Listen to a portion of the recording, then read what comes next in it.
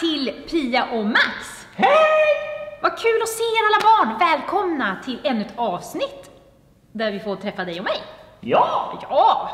Jättekul att träffa mig! Jättekul att träffa dig Max! Ja. Eh, och jättekul att träffa alla barnen igen. Ja. Ja, Oj, vad många de är! jag vet! De har ju liksom blivit fler på något Eh. sätt. Ja.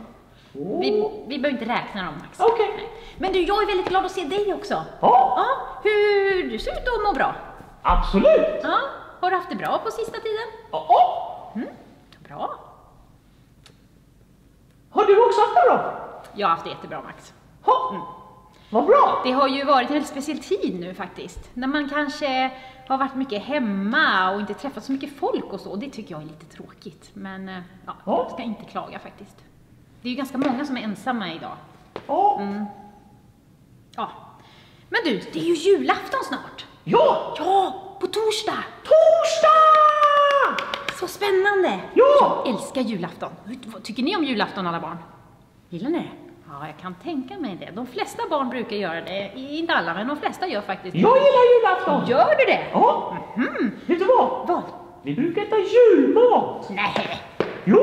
är det sant? Ja. Eh, Jaha, vad brukar ni ha på ert julbord då? Vita ägg! Vita ägg? Ja. Mm. Jo, jag vet att du gillar vita ägg. Ja. Brukar ni ha bara vita ägg? Ja. Ja. Vad gott. Va, vad har ni? Nej, vi brukar ha skinka och Vet du köttbullar. vad vi har mer? Nej. Julgran! En julgran!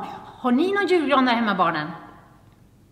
Ja. Ja, det har de nog. De, Jag flera av ser dem. Du ser dem? Ja. Mm, jag har också en julgran hemma. ja. Heter han så? Heter, Din man? om han heter julgran? Ja. Nej, han heter inte julgran. Han, Nej. nej. Jag känner en Anders Gran. Okej. Ja, då säger vi god jul till alla Anders Gran där ute då. Mm. God jul! Jätte, jättebra. Men du Max, nu Ja. undrar jag en sak. Vet du varför vi firar jul? Ja. Det gör du? Ja. Barnen, vet ni varför vi, vi firar jul? Klart de vet. Ja, det är ju inte för att vi ska fira äggens dag eller något sånt där. Nej. Nej, nej bara så att vi är överens. Man vill ha julgran, pepparkakor, eh, paket. Yeah. Nej men Max, Max, det är ju inte, vi, vi firar inte jul för att vi ska äta julmat och få paket. Faktiskt. Va? Nej, Gör vi inte? nej det gör vi faktiskt inte. Varför firar du jul? Ja, jag får väl berätta då, så att du får lära dig. Ja. Så berättar vi för barnen tycker jag. Ja. Ja, för jag tror de, de flesta vet nog varför vi firar jul. Gör då. Egentligen. Ja. Mm. Okej, är du med då? Ja. Det var så här att för länge, länge sedan, ungefär vid år noll ungefär, eh, så, så, Fanns du då? nej jag fanns inte. Nej, men det fanns en kejsare som hade bestämt att alla i landet skulle räknas. Man skulle liksom ha koll på hur... Var han eller hon en tjej? Kejsare? Det var en man. Är det en tjejtjusare? Ja, det var han nog bestämt. Ja. En kejsare i alla fall, som, som skulle ha koll på alla i landet och så att han kunde räkna... En kung? Typ en kung, ja. Ja. ja mm. Kan jag få berätta nu? Ja. ja tack. Och då var det så här, då skulle han ju räkna alla människor, för att alla människor, om han visste hur många människor som fanns i landet, då kunde han också ta skatt från dem, alltså pengar. Det var ju bra, så att man kunde göra saker i landet så. Och då var det så här, att då fanns det ju en man som hette Josef. Josef. Och Josef, han, han, han var, var trolovad en tjej som hette Maria. Mm. Och då var det så här att när, när man skulle räknas då för den här kejsaren så var man tvungen att åka till, till, tillbaka till den staden som man kom ifrån från början, som ens släkt kom ifrån. Mm. Och då var det så att Josefs släkt, han, de kom från Betlehem. Så Josef, Betlehem? ja, Betlehem hette den lilla staden. Mm. Då skulle de åka till Betlehem eh, tillsammans med Maria då, och så skulle de liksom visa sig där för att de skulle räknas och så. Ja. Tog de bussen? Nej, det fanns inga bussar då. De åkte åsna. Mm. På den tiden åkte man åsna. Det var ju superbra färdmedel. Då åkte man åsna, så de tog, hade, varsin, hade en åsna. Och men det, grejen var så här också, att Maria, hon var gravid. Va? Men gissa med vem? Vem hade hon i magen tror du? Sitt barn? Ja, det var ett barn faktiskt. Inte vilket barn som helst ska du säga. Ett litet barn? Ja, faktiskt. Det var Jesus! Hon hade ju Jesus i magen. Så det här utspelar ju sig när Jesus låg i, i, i magen på Maria. Så Maria och Josef och Jesus som låg i magen, de tog sin åsna och så skulle de åka till Betlehem. Och så åkte de. Och när de väl kom fram till Betlehem så skulle de ha någonstans att bo. Ja. Hotell? Ja, precis. Men nu var det så här att alla hotell i hela stan var fulla. Alla, Va? alla hade, skulle tydligen vara i Betlehem den dagen för att skulle skattskrivas och sånt. Oj! Ja. Fick de gå hem då? Nej, de gick inte hem för det, det tog ett tag att gå hem. Så att det, det ville de inte göra. Oj! Mm. Och Maria var ju gravid också så det blir lite tungt. Nej, så de bara, vi måste ju hitta någonstans att bo. Så de knackade på varje, varje hotell, varje dörr nästan som de kunde. Åh, snälla kan vi få bo här? Kan vi få ett rum? Fick de det? Till slut fick de. Då var det så här, då var det en hotellägare som hade ett stall lite utanför sitt eget hotell. Så här. Och han sa, ja, okej, det är så här att eh, jag har ju faktiskt ett stall, så ni skulle ju kunna få bo där i natt om ni vill. Va? Bland djuren? Bland djuren, han hade säkert åsnor och någon ko och sådär. Men du vet Maria... Får? Ja, han hade säkert får. Ja. Jag vet inte det, men jag tror att han kanske hade får. De fick då bo där. De fick bo där. Och så fick de ha lite hö och halm och så. Och de var så glada att de hade fått någonstans att bo och sova. Och den natten, då föddes Jesus. I stallet? I stallet! Wow! Jag vet. Och vet du vad som hände mer? Nej? Den natten så var det några herdar som var ute och vaktade sina får. Okej. Mm. Och det var så att när de var och vaktade sina får, så, så plötsligt så kom det ett ljus och så undrade de vad det kunde vara för någonting. Och då var det en ängel där. Va? Ja! Och ängeln sa så här, nej ni behöver inte vara rädda. Men vet ni vad? Det är så här att i natt så har en kung fötts åt er i ett stall. Mhm. En kung? En kung. Han också? I ett stall? Japp. Jesus var ju kung.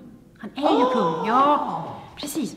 Och då sprang ju herdarna dit, de var ju jättenyfikna på vem Jesus var. Och så gick de dit och så fick de träffa Jesus. Men han kunde ju inte säga något. Nej, han låg där och såg jättegullig ut. Och så fick de titta på honom. Kanske klappa på honom lite så här på kinden. Oj. Men så var det så här också, att det var några rika män som var ute och gick också med sina, vad heter det, Kamel? kameler kanske. Ja, kameler var det nog. Och de, Inga kameleonter va? nej, det var inga kameleonter. De är nog lite svåra att rida på, kameleonter. Faktiskt. Har du försökt? Nej, jag har inte försökt. Faktiskt. Nej. Har du? Nej, Nej. det går ju inte. Kameler. De red på sina kameler. Och de hade nämligen sett den här stjärnan.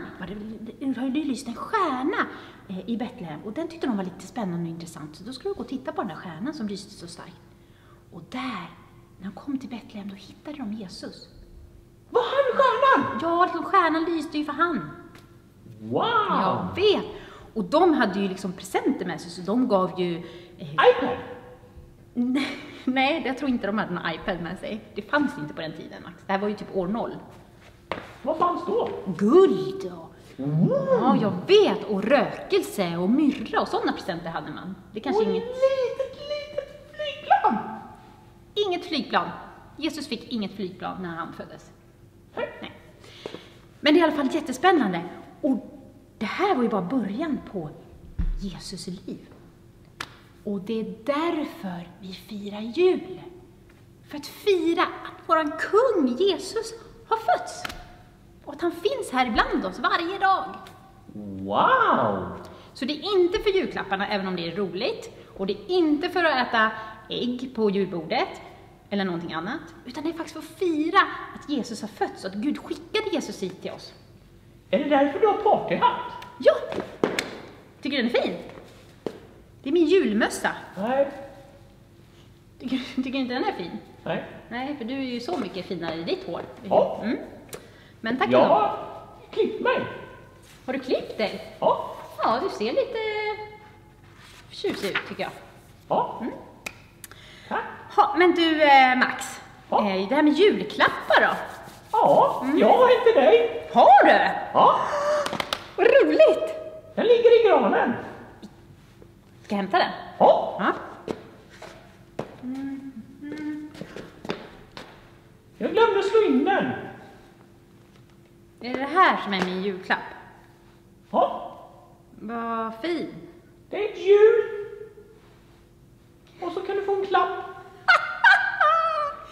En julklapp! Jag fattar! Och du är så snäll Max! Grattis. Tack, eller god jul. Ehm, jag tänker att vi, eh, vi hoppas att barnen får lika roliga julklappar som det här. Eller Har du någon klapp till mig? Ehm, ja. Haha. Vet du vad?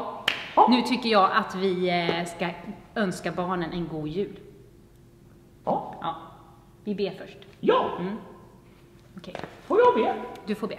Ja. Då sätter vi ihop väggarna, Taket! taket, spikarna. Spikarna! Tack Jesus för att du föddes i ett stall. För att du kom till oss för att hjälpa oss. Tack Jesus för att du hjälper oss varje dag. Jag ber att du ska vara med alla barnen hela julen. Och alla andra som kanske är ensamma idag och imorgon.